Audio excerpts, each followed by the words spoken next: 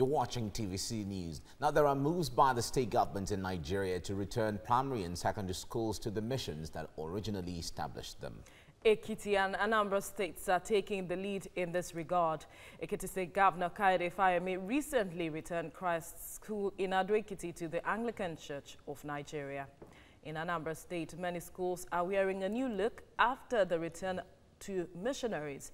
Former military ruler General Yakubu Gowon took over all the mission schools across the country uh, immediately after the end of the civil war. Now, his regime came up with the takeover policy on education. Then the idea was to ensure uniform standard of education across the country. But the question Nigerians have been asking over the years is if the takeover policy was a blessing or a setback for the education sector. Well, joining me now is uh, leadership and communication strategist, Dr. Ojon. Thank you for joining us on TVC Breakfast. Good, good morning. morning. It's good to be here. Right. Now, this issue has been on the front burner for some time, and it has been laced with some sort of controversy.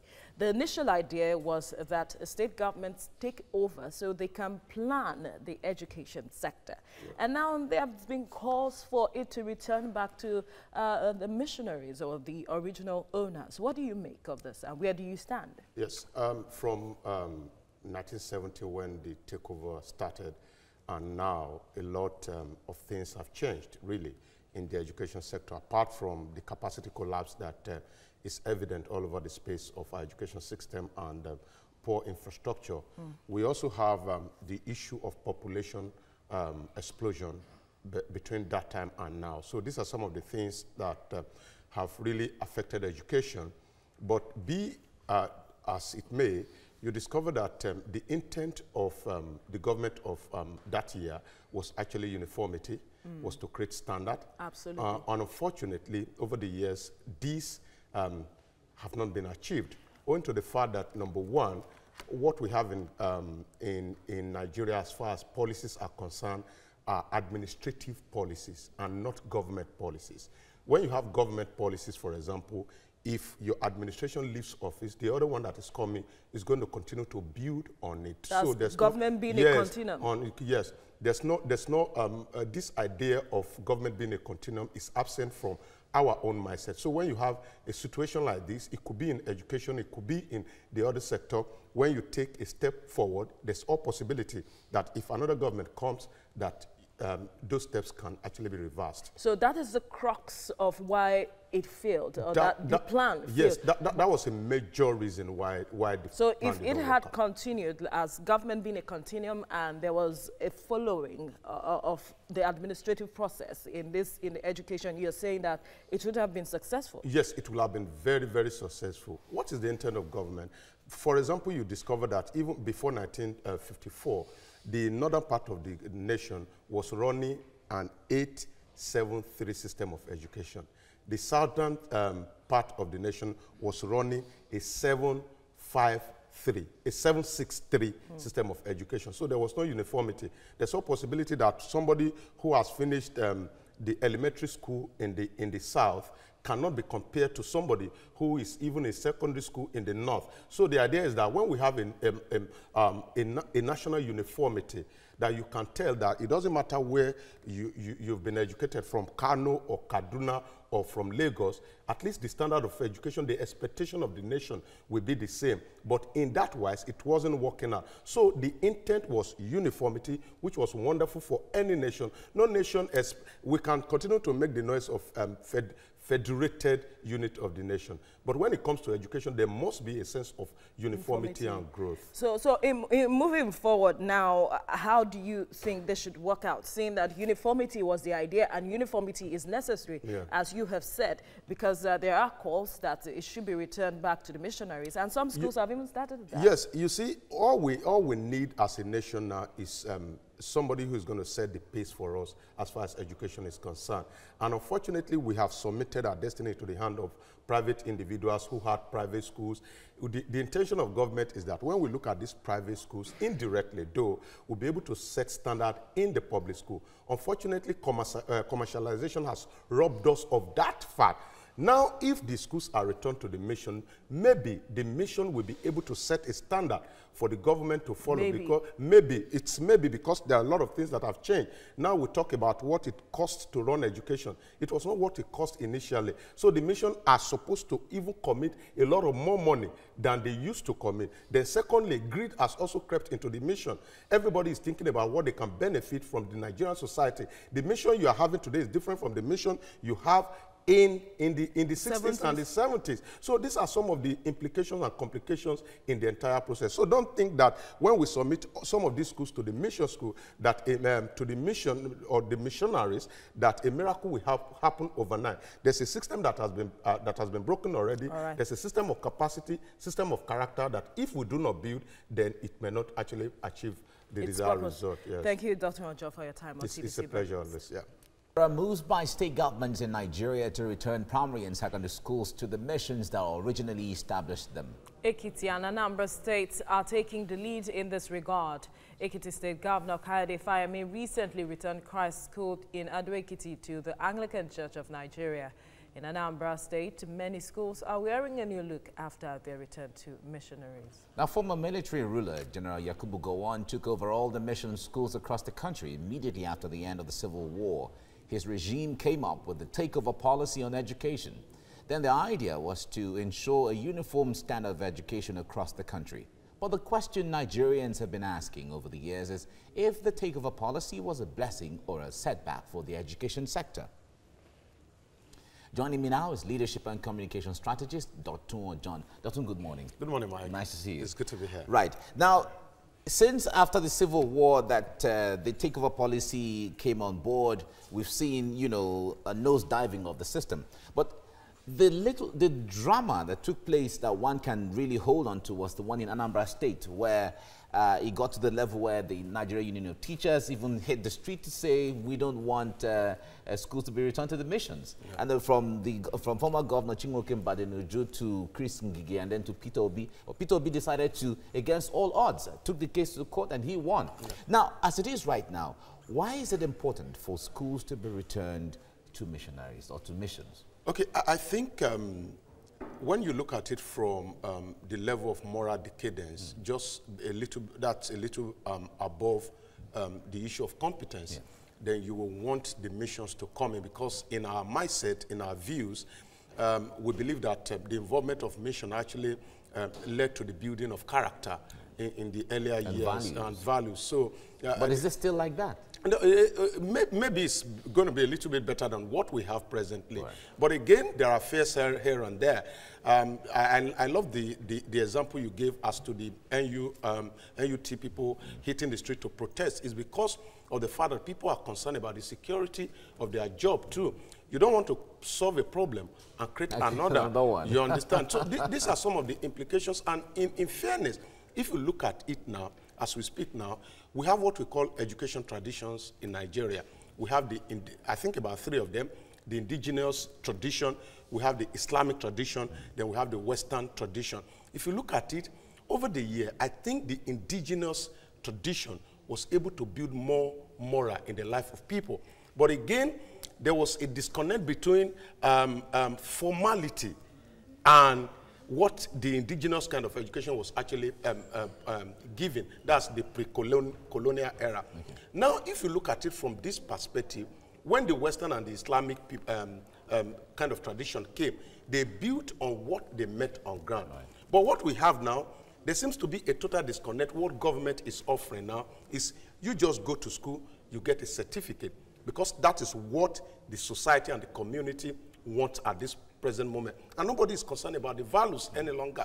Nobody is concern, concerned about the morals any longer. So that's why the mission is now coming to say, okay, we cannot continue to build competence without character. Hmm. So if we come in, we are going to build character and build people that also will be competent. So if you look at it from that angle, I think it's important. All right, the argument from that, from that window actually would look really beautiful. But another concern is the issue of funding. Because we know that the w- w- churches and uh, mosques, in fact, religious, you know, organizations are charity organizations. They don't pay taxes and they, they, they thrive on the charity and contribution from members here and there, which sometimes they have a lot of money, other times they don't have money at all, depending on how it is. But as it is right now, whether the missions have the monies and the funds to keep the education at that level that we are talking about is a lot of concern to Nigerians. It is. If the government decides to hands off. Yes, it is a lot of concern because if you, if you um, a student of history, you will know that majority of funds that were committed to sponsoring of education in those earlier mm. years were foreign funds. They were given by foreign donors. Mm. I remember the, yes, I remember the Reverend Father in my community. We run back to, to Rome to get funds to support the school, mm. to get water system working and all that. Now, Nigerian churches have become flamboyant. I doubt whether we now have the moral justification to go abroad to continue to look for funds here and there. And even besides, and besides that, uh, Dr. the point there is that we have seen some of the churches establish schools right now. And many of the schools they establish even normal, regular Nigerians cannot afford. No, that, that, that's no, Mike. Don't let us mix things up. Okay. This that's the little difference between the Orthodox mm. and the Pentecostalism. The major, but they're all missions. No, no, no. The major, the major universities we have today mm. that ordinary men cannot attend were created by the Pentecostal churches. Okay. But the mission schools they are talking about now are going to be returned to the Orthodox mm. churches. So we the early have, missionaries. Yes, we okay. still have hope in, in, this regard. All right, so yeah. there's, there's hope. Yeah. All right, thank you very much, Dr. John, for coming on the program. It's a pleasure. Thank you so much. Yeah. Right. Now, there are moves by state governments in Nigeria to return primary and secondary schools to the missions that originally established them. Ekiti and Anambra states are taking the lead in this regard. Ekiti State Governor Kayode Fayemi recently returned Christ School in Ado-Ekiti to the Anglican Church of Nigeria. In a number of states, many schools are wearing a new look after their return to missionaries. But the question Nigerians have been asking over the years is if the takeover policy was a blessing or a setback for the education sector. Joining me is leadership and communication strategist Dotun Ojon. Dotun, thank you for joining us on TVC Breakfast. Yeah. Now, I want us to look at the implications and perhaps the complications mm. of uh, this um, policy if it is going to be implemented. Okay. Because the essence, so why there was a takeover in the first place was to unify. How do we begin to unify? And what is the implication for teachers, the students, and perhaps the state at large? Okay, let's begin that um, at this moment in time, um, there's a general capacity collapse in our education system, and we are, as a nation, we're actually looking forward to seeing perhaps a group of people or a person or an organization that's going to set a standard for us to follow. Either we say that or not, I think that's what we are looking um, at now. So if uh, the missionaries are coming to take over or the state governments are actually returning the schools to their original owners, maybe, maybe we'll get to a point where we'll have them, the schools that will be returned, as um, um, as what we'll be looking for to, test, to set standard in our education system. But there are other complications here and there because you talk about youth, you should think about what happens to the teachers there. Absolutely. You should think about the fact that how many of our population can some of these missionary schools actually take care of? Mm. Because as at the time in the realm of 1970 to 1975, when these schools were totally um, given back to government, you discover that we are just a people of about 70, 80 million uh, uh, in population. But now, now we are talking about 200 million. million people. So these are some of the things that need to be factored in even when we agitate for this return. And how about the students? What okay. are the implications? I, I, think the students will be better off because now the missionaries, if you, if you are judging them with what they've done in time past, they are bringing competence, I mean academic competence and character on board. If you like it or not, what we are facing now is a general collapse of capacity and character. So if we can have um, the missionaries take over the schools or we have the state government return it to them, there's all possibility that we are going to build a total student, a total student that is sound in, when it comes to academics and also moral because either we like it or not, we still look up to our religious institutions as a very great agent of socialization that can build character and instill morals in the but people. you would agree with me that uh, the missionaries, looking at the population we have now, may not have the capacity to fund the schools. So that there are talks about perhaps there needs to be a reworking of the plans where the state government comes in to support uh, one way or the other? Of course, there's going to be a major reworking, and I, I, I, I sincerely thank you for bringing in that aspect. I want to prepare Nigerians that to know that the kind of mission school that we have now may be different from the ones they had before. They should be ready to pay because education, either we like it or not, it's not cheap. Even if you have the state government still donate or support, there will still be need for the missionaries to charge. You know why? Because we have seen state government schools not working, despite the fact that there are subventions here and there, money is being pumped into it. It shows that whatever provision the government is making for public school is not enough. Mm. The United Nations is uh, actually um, clamoring for a 25% budgetary provision Absolutely. allocation for education. But as we speak now, I doubt whether we have a state that was, I think one state did 10% some years back.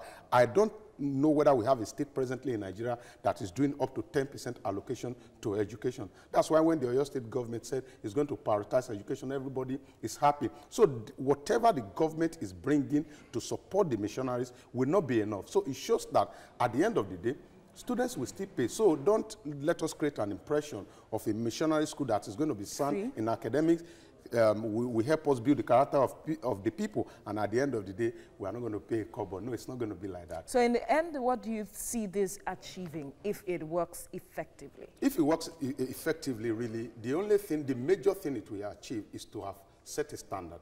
Because we need, we urgently need a standard as we speak now we need uh, somebody that's going to blaze the trail as far as standard is concerned in education so that we can actually use that as a benchmark that, oh, if this person can do it this way, we can also do it. As we speak now, it's like we have submitted our destiny into the hand of capitalists, private school owners who mm. may not necessarily be dishing out the quality that they get money for. What a lot of parents do at the end, at the beginning of the term, is to go there to invest a lot of money with the belief that at the end of the day they will see it in quality and character. But I doubt whether we are really getting what we are paying All right, for. so Nigerians can be hopeful then, yes. so to speak. Dr. Ojo, thank you for your time on TVC Breakfast. It's a pleasure,